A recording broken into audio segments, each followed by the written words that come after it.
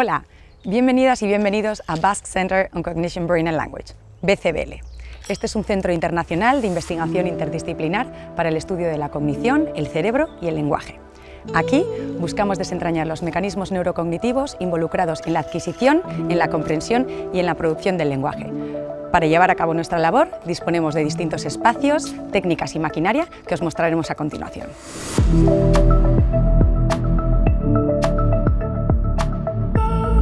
En nuestras instalaciones disponemos de magnetoencefalografía, resonancia magnética, eye tracking, electroencefalografía, unos laboratorios conductuales y un Baby Lab, nuestra aula de estudio de bebés.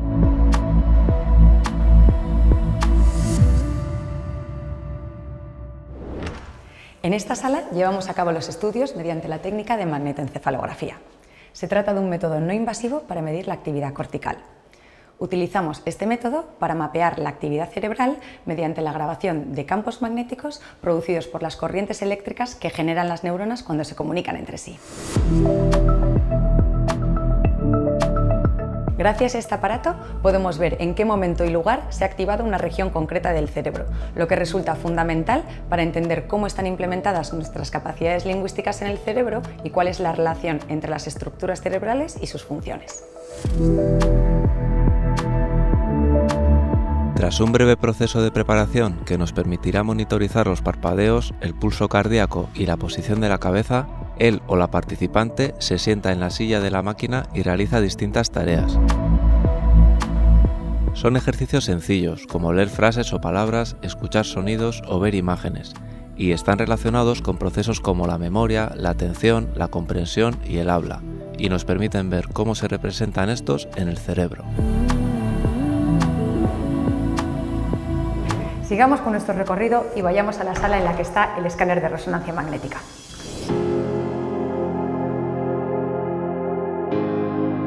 La imagen por resonancia magnética es un procedimiento clínico y de investigación no invasivo que permite mostrar en imágenes los circuitos cerebrales que subyacen en la ejecución de una tarea determinada.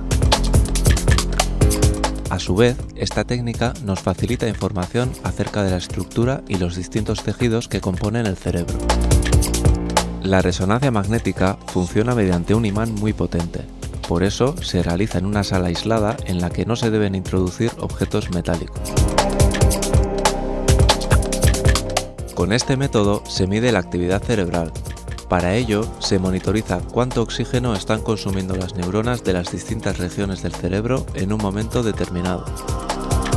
Las tareas consisten en visualizar imágenes, frases, palabras o letras, y los participantes deberán responder mediante unos mandos o de forma oral. Además de las tareas, habrá momentos en los que obtendremos imágenes de la estructura anatómica del cerebro.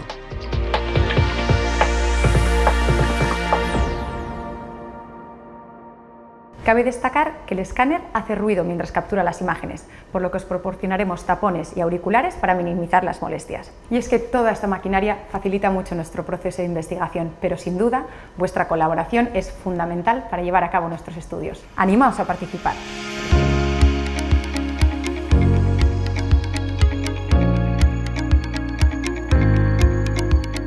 Los estudios conductuales se llevan a cabo en estas cabinas insonorizadas, que disponen de un ordenador para realizar las tareas.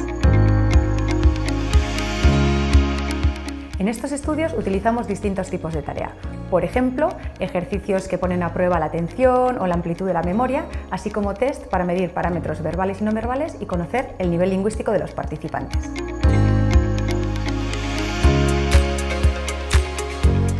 Los estudios conductuales miden variables clásicas en psicología, como el tiempo de respuesta o los aciertos y errores al responder.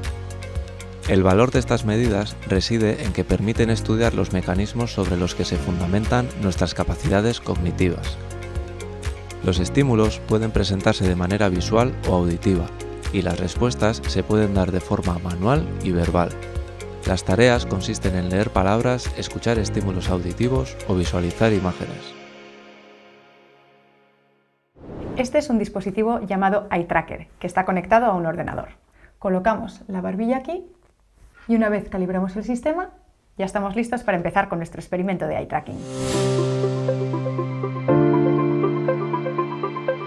Eye tracking es el proceso de medir el punto de fijación de la mirada o el movimiento del ojo que se utiliza en la investigación del sistema visual, la psicolingüística, el marketing o en el diseño de nuevos productos.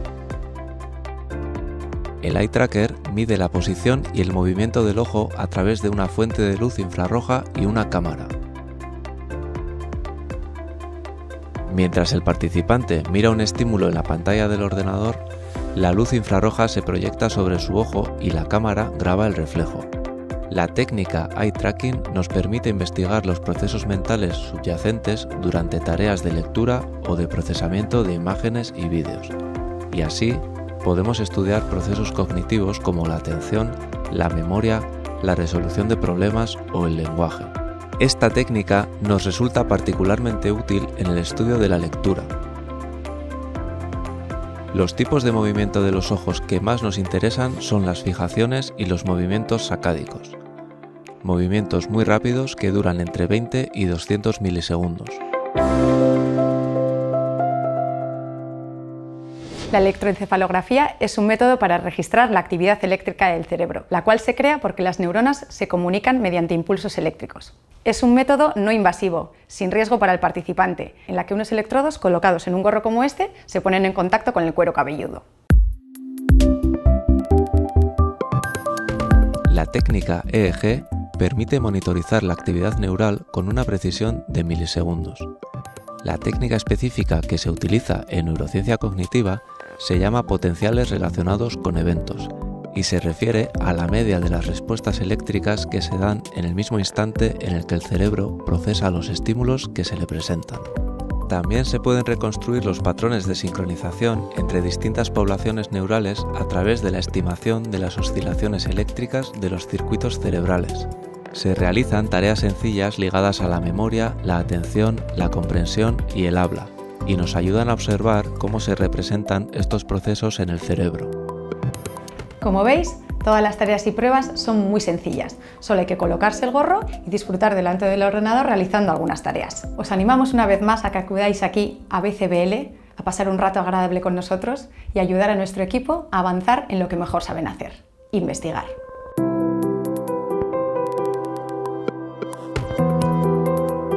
Ahora nos encontramos en el Baby Lab, este es un laboratorio en el que estudiamos la adquisición del lenguaje en bebés de 4 a 36 meses. Por ejemplo, observamos qué sucede en las distintas etapas del desarrollo o cómo están organizadas esas habilidades en el cerebro, así como la influencia de un entorno monolingüe o bilingüe.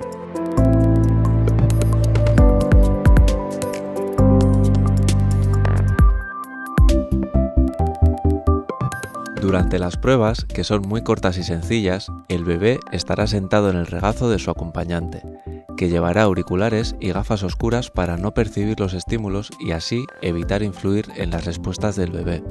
El proceso estará supervisado por los profesionales del laboratorio en todo momento.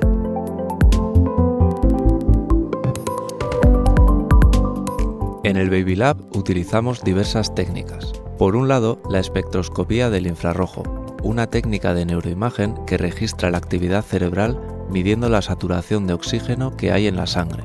Para ello, colocamos un gorro que contiene una serie de emisores y receptores de luz infrarroja que es inocua para el bebé. Por otro lado, utilizamos la electroencefalografía para medir la actividad de las neuronas.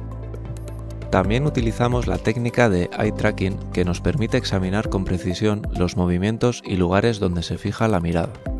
Para ello, colocaremos una pegatina en la frente del bebé como punto de referencia para que la cámara siga todos los movimientos de una de sus pupilas. El procedimiento es totalmente inofensivo y respetuoso con el bebé.